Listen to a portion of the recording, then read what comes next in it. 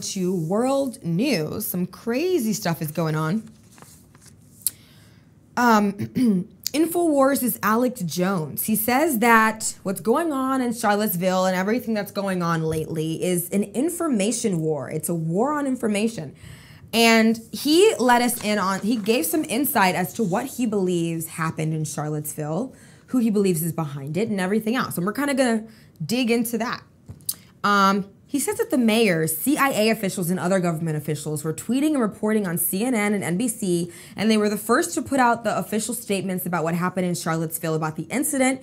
And he believes it's because they were the ones behind the whole thing. Some believe that these officials paid actors to actually start riots and fill these movements. Websites like Crowds on Demand make it easy to gather people for a cause or for no cause at all. I actually just found out about this. This website, crowdsondemand.com, check it out you can literally look for, you know, protests, rallies. You can get people to, you can get crowds to come to your protests, and they probably have nothing, no idea as to what's actually going on. So you can actually buy this kind of stuff. And the name that's been circulating the media in this incident um, the past few days is Brennan Gilmore. He's a genocide expert, actually. Um, he was apparently a key orchestrator behind the racial motivated mob violence occurring in Charlottesville, Virginia. Um, according to Alex Jones and a few other people as well, actually. According to Russia, most importantly. Russian intelligence experts have previously blamed him for being a central figure behind the genocidal fighting between Muslims and Christian militaries in the Central African Republic. So let's get in, let's just get into a little brief history on Brennan Gilmore so you understand.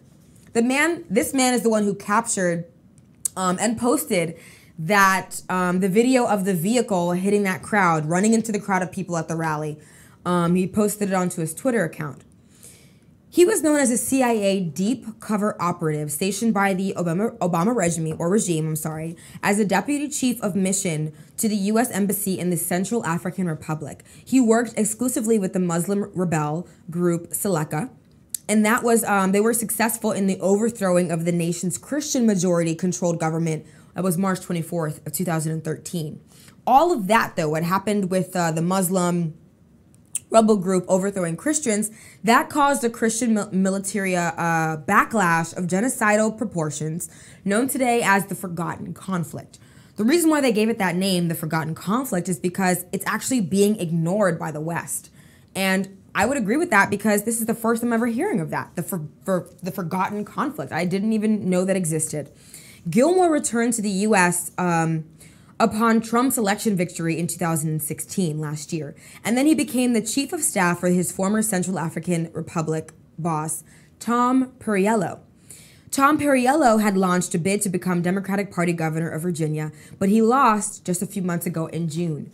So, just a few months ago, around that time, Gilmore left the uh, campaign and became an advisor to the Democratic Party mayor of Charlottesville, Virginia, Michael Signer. Michael Signer is known for declaring his city as a capital of the resistance against Trump in February 2017. So here's where it gets a little interesting. Thank you for bearing with me through all of this. Between the dates of August 6th and 11th, so just a few weeks ago, days ago, SVR, which is Russia's foreign um, intelligence service, they noted that Gilmore had numerous meetings and telephonic exchanges with Mayor Signer, Michael Signer, and former Obama supporter Jason Kessler. Interestingly enough, though, now, Jason Kessler is being known as a relatively newcomer to the white nationalist scene. And he was apparently the leader of the pro fascist side in Charlottesville. Jason Kessler actually has experience as a former assignment editor for the anti Trump fake news propaganda with CNN, and he's also well versed in how to create a media spectacle. So, what does all of this tell us? Basically, Jason Kessler led his pro fascist forces on a Unite the Right march while Mayor Michael Signer ordered all of his city's police forces to stand down and not interfere with any either side so all of this was going on while Gilmore, who seemingly came out of nowhere, was able to appear at the perfect time with a camera in hand to capture and witness and record a pro fascist supporter ramming into the crowd of communists. Wow. That's a lot. He was actually interviewed by CNN and every other anti Trump fake news media outlet in America, too, these past few days since it's happened. And it seems that Trump doesn't find any of this uh, to be amusing. His Department of Justice has ordered a top Democratic Party anti Trump website to immediately turn over the identities of 1.3 million communist agitators, causing chaos throughout America. Whew.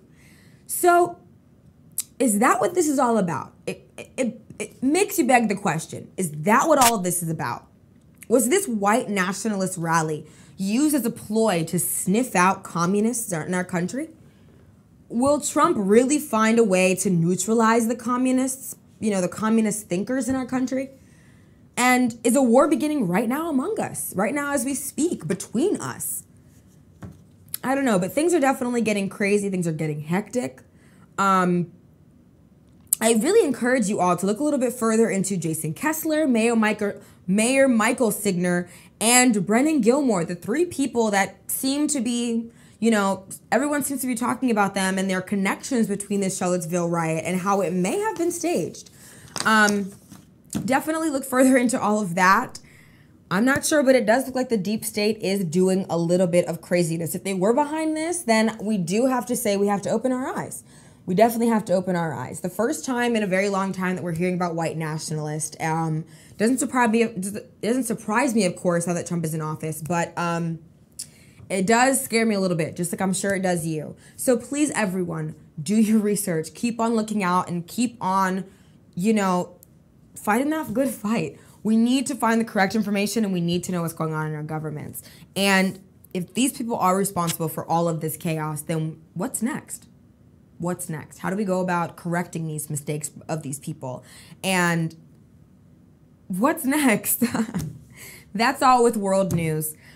We're gonna move on here to our universe, our final talk, um, topic here. Artif- artificial intelligence expert Steve Chien, he speaks on NASA's plans for artificial intelligence on Mars. Now, NASA plans to use AI on Mars, and that actually shouldn't be much of a surprise considering that artificial intelligence and missions have been used both on Earth and on Mars already. Actually, Facebook recently shut down an experiment because two AI bots became began communicating in a shorthand language instead of English. And many perceive that as, you know, the bots coming up with their own secret language.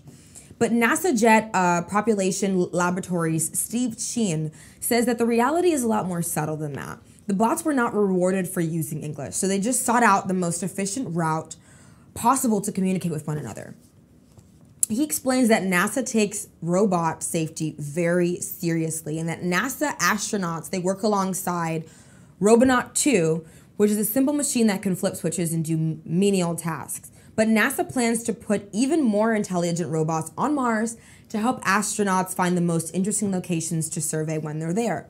For those of us who haven't thought about this already, there are robots right now, artificial intelligence robots right now working in space as we speak. NASA's Mars rovers are already equipped with AI, which makes some decisions um, independently. They make decisions independently.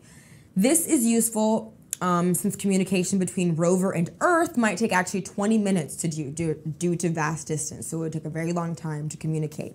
It's not just Mars either, though. NASA used AI on its Earth Observing 1 satellite, which just completed its mission earlier this year after operating um, since 2003. It's called the Autonomous Science-Craft Experiment, ASE, and it's helped scientists look for interesting events on Earth's surfaces like volcanoes, meaning that it could send out alerts to the public faster than humans working on the surface. so basically, the sky is a huge place. It's a big place. You might not see thousands, you know, you may see thousands of things out there when you're looking. Um, and before these experiments were, you know, available, According to Chien, scientists arbitrarily just picked 50 things to look at. But now we have AI, and so now they can look at 50 objects, and the AI instruments determined what are the most interesting ones. So they're not wasting time and resources, they feel. Speaking specifically on the Mars 2020 rover, it's expected to depart for the red planet in three years. Not only will the rover be clever enough to choose an interesting um, target, but also to pick the best approach for scanning it and obtaining information relative or relevant to researchers. Mars 2020 could even change its schedule of tasks on the fly if it finishes something ahead of time, allow, allowing scientists to squeeze the most that they can out of each mission. You know, and other projects really do remain um, in the proposal stage, you know, but there are a lot of exciting things happening in the world of artificial intelligence. And you can actually check out more things on space.com um, about this. But I want to know what you think.